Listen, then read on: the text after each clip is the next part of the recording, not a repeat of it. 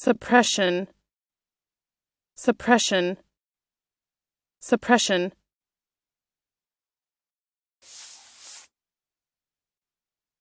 Noun. 1.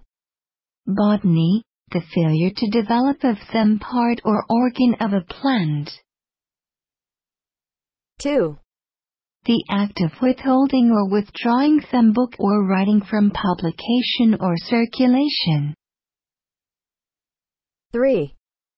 Forcible prevention. Putting down by power or authority.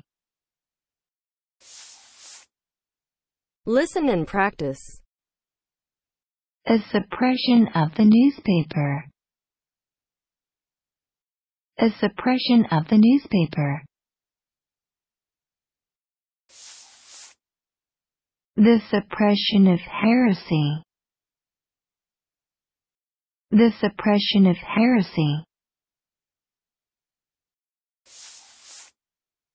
Bloggers have had fun pointing out that 1984 is largely about censorship, the suppression of information in a society led by Big Brother.